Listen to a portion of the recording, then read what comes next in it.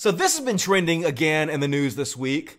Kiai Masters. If you don't know what Kiai Master is, basically they're these martial arts dudes who claim they have this strange mystical power that allows them to knock people out and beat the shit out of them without ever fucking touching them. These fucking morons just going along with it like this dude's really magical or something. And the reason the subject is interesting to me is because how this works is basically the same exact way as how Benny Hinn works how all these charismatic Christians who make people fall out in the spirit, it's all basically the same shit. I guarantee you, if Benny Hinn was here right now, there is a 0% chance he could make me pass out without touching me. It absolutely would not work on me or any skeptical person. All these dudes are absolute, complete con artists and frauds. And the sad thing is, some of these guys teaching this are actually well respected in the martial arts world. Like this guy, George Dillman. He actually taught Muhammad Ali and even fucking Bruce Lee. He's been featured in all kinds of different martial arts magazines, and he's well respected in the martial arts community. Despite the fact that he's a 100 fucking percent complete fraud. Let's have a look. Essentially, he claims to be able to knock anyone out without touching any part of their body by just throwing a giant chi whammy at them. Sometimes it drains me. I can get that way within a second or two if I throw the chi out too fast. Get back. After seeing so many demonstrations, so many different techniques, so many different moves, you, you can't help but start believing. They're opening up another door in your mind. It's just unbelievable. I know I have chi energy. You can see it with the half moons. My chi is up now because of the filming. So basically, this out of shape fat motherfucker pretending like he has magical powers and all these goddamn idiots going along with it. Question is why? Why is this happening? Well, the answer is actually very simple. This shit works exactly the same way as a hypnotist show works. That's all it is. It's a combination of people really wanting to believe, straight out just acting, and also going along with it because of peer pressure, because all the other people around them are going along with it, and they don't want to be the odd man out. And a lot of them have grown up idolizing this dude, seeing him teach Bruce Lee and Muhammad Ali and being in all these martial arts magazines who have built him up to be bigger than life. To a lot of these people, he's their fucking hero. They worship this dude. So it becomes almost like a cult like atmosphere where the people will go along and do anything to please their icon. But unsurprisingly, when skeptics actually come in and they test this shit, we find out there's nothing to it. None of these motherfuckers have magical powers. It's all fake bullshit. They're just con men. So this dude, George Dillman, refused to do a test on a skeptic to prove he could actually do it on them because he knows he's a fucking con man. But one of his acolytes, who has been taught specifically by George Dillman to do this, agreed to do this on skeptics. And here's what happened. It didn't work. Okay. Dillman thinks he knows what went wrong and has come up with a very interesting explanation. The skeptic was un, was a, a totally non-believer, non-believer. Plus, I don't know if I should say that on film, but if the guy had his tongue in the wrong position of the mouth, uh, that can also nullify it. The way you put your tongue in your mouth can nullify my magical powers. Yeah, you can nullify it. You can nullify a lot of things done to you. In fact, you can nullify them if you raise those two big toes. If I say I'm going to knock you out, and you raise one toe and push one toe down, can't knock you out. And then if I go to try again, you reverse it. If you keep doing this, I won't knock you out. Quit switching your toes around, dude. I can't knock you out. Fuck you, dude. You're a shameless con man, taking advantage of your gullible students who look up to you. We all see right through you. Next up, we have another one of these con men who calls himself the stun gun. Basically, the exact same shit. Another shameless fucking con man taking advantage of people. Let's have a look. A seventh degree black belt trained by Grandmaster George Dillman, but Cameron claims to have an even higher power, being able to knock out an attacker without even touching them, using energy to interfere with their nervous system.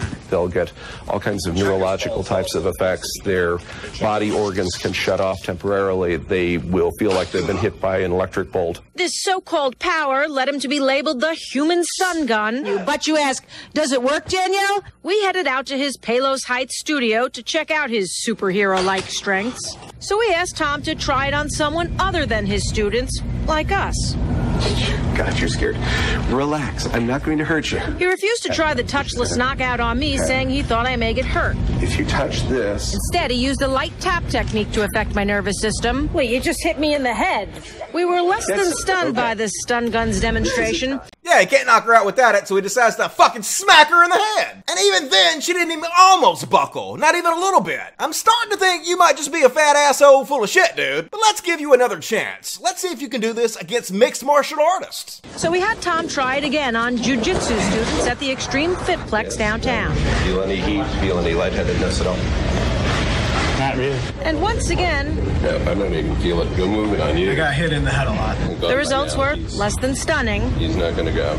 Tom says only about 40% of people are susceptible to touchless knockouts, and natural athletes are the toughest. They learn to translate this energy so they, they don't get affected by it as much. Oh, that's good to know. Your magic doesn't work on athletes. Also, way to diss your students. Absolutely have no fucking shame, you fat motherfucker. These assholes should be mocked right out of business. Next up, we have the Yellow Bamboo Tribe, who claims they have this fucking magical power. They can fucking knock people out and down without even goddamn touching them and shit. Like a bunch of lame ass LARPers who don't realize they're not fucking really magical. They're out on the beach practicing this shit. And then they get challenged by some skeptics who are like, hey, I'll tell you what, why don't you stand like 20 yards down the beach and I'll come running at you full blast, which gives you plenty of opportunity to knock me out before I ever get to you, and we'll see what happens.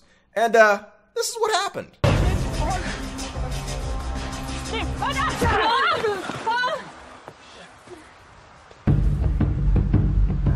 Yeah, that's why you don't do that. It doesn't work, you idiots. You don't have magical powers. It's all fucking fake. God damn it, you're idiots. And there's another guy getting immediately taken to the ground and choked out because that's what happens in reality, motherfuckers. Next up is this dumbass who thinks he has magical powers and can stop this other guy from punching him in the face. And he's like, hey, try to punch me in the face. Bet you can't. I bet he can.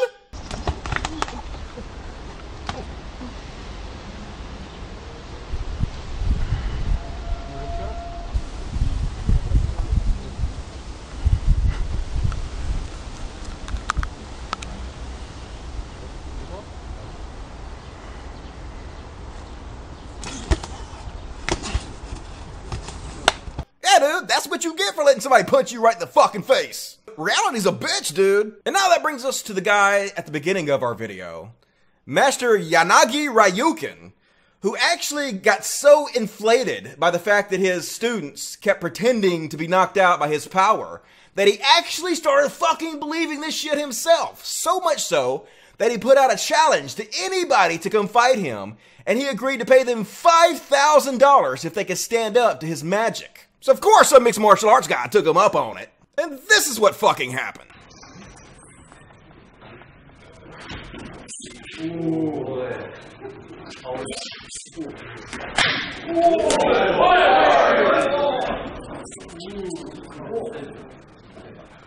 It was approximately this point right here that Master Ryuken realized he done fucked up. He like, holy shit, that dude just punched me right in the fucking face. My magical power didn't stop him or nothing. I think I might have made a supreme error. I don't want to do this anymore, but I'm surrounded by all my students here and I just paid this guy $5,000 to whoop my ass.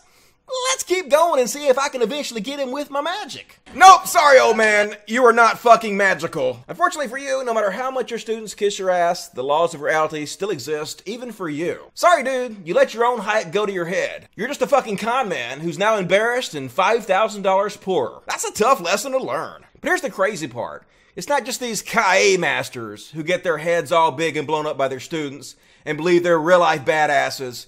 This happens to so many of the people that teach martial arts. Their students build them up so much and put them on a pedestal so high that they actually start to believe their own press and believe they're these god men who can do unbelievable things. For example, in China, this mixed martial artist is now in hiding because he put a challenge out to all the big mixed martial arts schools with all the really famous teachers.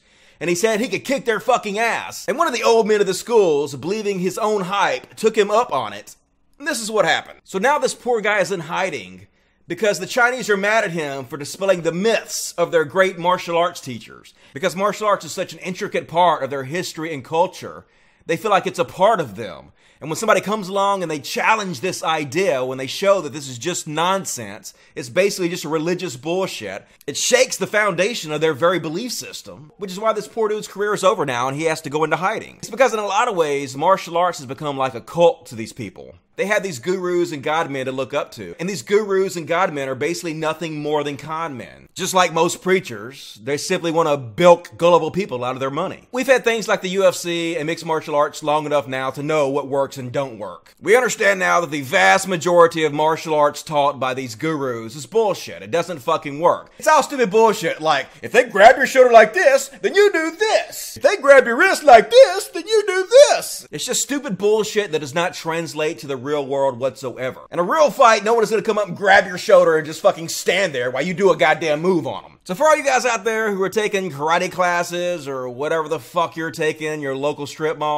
it's totally cool if you do that. It's a good exercise. But don't believe the hype about your sensei. Some little tiny bitch who's actually trained in mixed martial arts to fight and stuff like the UFC could probably whoop his ass. So nice try, karate nerds, but we're not buying it. We see right through you. We know you're just fucking con men. But please keep this shit up, because to be honest with you, it's really fun to watch con men like you guys get the shit kicked out of you. Seriously. Logic. Fuck yes. Hey guys, if you like my show, please consider supporting it on Patreon. Due to the recent changes on YouTube, I'm trying hard to keep this channel afloat. So if you'd like to not see this channel disappear, please consider clicking on the Patreon link and supporting this channel. Thanks a lot.